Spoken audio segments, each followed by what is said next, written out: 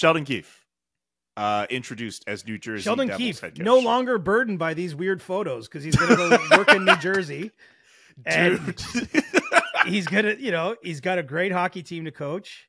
He's got lots of stress and worry and all the things that comes with the job, but he's got a few less personal worries because not everybody's going to be up in his business in Newark or wherever he settles out there in New No. Jersey. dude can go to a, a New York Jets game or Giants game somewhere in East Rutherford or a New York Red Bulls game, whatever he wants to do. I guarantee very few photos will be taken of that man. Good for him. He's earned his peace. he has earned his peace and he's earned a team he's taken over. You know, one thing that stood out to me in, in listening to Sheldon's words at, at the opening press conference in New Jersey was just how he's never coached a team that wasn't trying to win a championship, which, you know, it sort of sounds like an obvious thing, but in his position, like when you're a coach getting hired into a situation, sometimes you're taking over a team at rock bottom.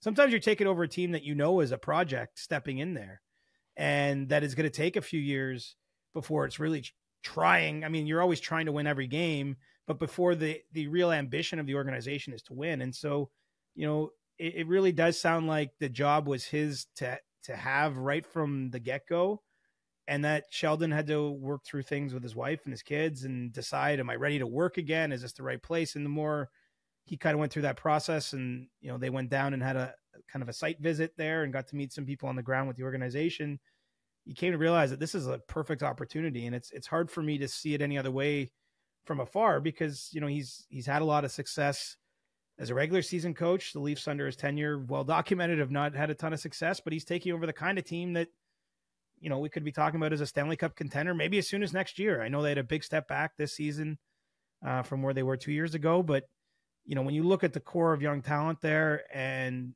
i think a pretty well run front office that, you know, doesn't make a lot of mistakes, that will have some opportunity to make decisions on players this summer, that could probably look forward to being a little healthier next year because certainly part of the Devils last season was just key injuries to, to players like Dougie Hamilton for significant chunk of time that it's hard to replace that when you've already, you know, walked someone like Damon Severson out the door the previous summer. Uh, so, you know, they, they took some, some blows on, on the blue line and obviously have really young talent, Simon Nemec there and, and, and Luke Hughes. But, you know, it, it's a long way of getting to the point that you know Sheldon's. I mean, this team is going to be going to have the same expectations and ambitions as the Leafs would have when when he was working there. Except, you know, it's a fresh start for him. It's a fresh look at new players and and you know, pretty new environment for him to go apply his trade. All right. Um. Anything you- else? Oh, go ahead. Well, the other thing that stuck out to me, I'm sure you saw his farewell video in Toronto. He actually detailed. Absolutely. He I was detailed how ask that, that came next. together. yes, please talk because that was what I was going to ask next. Well, because I heard all this, there's like this weird speculation he'd like made it days ahead of time and had like a professional crew film it. And I was like, I never, I "We're- never heard. I never saw any of that, and that clearly Oh, looked I- like that clearly looked like you know spur of the moment. We knew it was. He probably figured it was going to happen, and then he was wherever he was, and he said, "You know what? Let me just do a personal thing. Here's my phone. Let's do it." It didn't look like a professional thing. It just Well, looked like a spur there was, of the moment. There was a lot of nonsense of like that locally, and I that never made sense to me. I was like, no, No this looks like. I mean, we all have pretty powerful cameras in our pockets now. I mean, cell phones uh, are you know it's like carrying around a digital camcorder back in the day. Anyway, the uh, he he told the story, and basically he kind of figured it was coming. He had a restless sleep the night before he was you know contacted by Brad Treliving called in for a meeting. And he sort of decided he wanted to do this. And maybe you know i'm sure he thought a little bit of his messaging and what he would want to say. And he thought it was an important part of closure. And so he said he went right from the meeting from Brad Treliving where he got fired. He went to that spot that he called his happy place near his home uh you know lived in one of the suburbs of toronto on- on the lake and you know spoke from the heart. I think that's why so many people connected with that message because it did come out you know within a couple hours or not Yeah. even maybe within an hour of his firing officially being announced by the team. And maybe that maybe that timing is why everyone thought it was like this big stage production but i think he just literally spoke from the heart right after getting the news and then he said he took his wife jackie to lunch.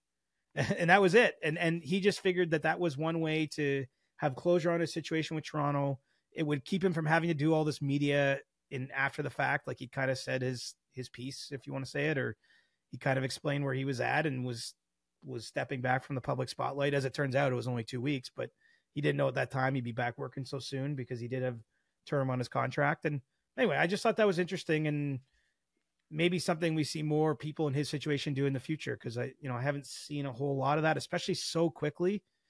Um, and I think honestly, it it was a it was I don't think it was done with like a big PR spin, but I think it was a brilliant PR move because it's about the classiest way you can leave a situation.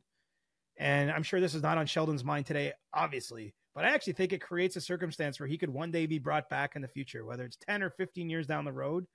Like it's he he left the bridge was not burned on either side yeah. at the end at the end of that relationship and he's still a very young coach and you know, I bet his best days are still ahead. That's a, that's a pretty safe thing to be predicting.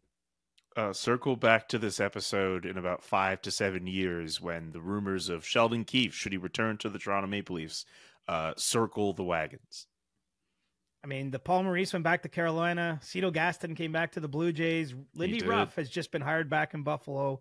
You know, not those aren't perfect parallels, but you know, if Sheldon goes on and wins a cup or cups elsewhere, and he's a distinguished coach and one of the best in the games, and the Leafs are still trying to get it right in ten or fifteen years, it would just not surprise me at all if you started to see that those kind of rumors go around. I mean, that's what's old is new again. That's how it is. I've seen Michel Therrien and Claude Julien coach the Canadiens twice. It's entirely possible. Exactly. Twice. And, I still can't believe that happened. Jeez. I just feel like because it's such a classy way to go out too, and like he even today was so well spoken at his introductory press conference. I mean, he seems like a new man again because he can know he can have a coffee with Nico Hischier here in the next few weeks, and no one is going to bother him. They're just going to they're just going to go do their job and and get working on trying to bring the cup to Jersey. Yeah, wherever I'm trying to think what's like what's the I mean, then again, whenever we travel, I imagine for you it's you're not trying to have dinner in New Jersey. You'd much rather have it in Midtown if you have to ever be at a Devils game. But there's some maybe good they... restaurants in Jersey, man. Oh, okay. So I don't know. I, I tried not to hang out too near, long in Jersey during the near the rink. I, I went to the Dinosaur Barbecue a fair bit over the years. They have a dinosaur barbecue in Jersey, just down the street from the arena, man.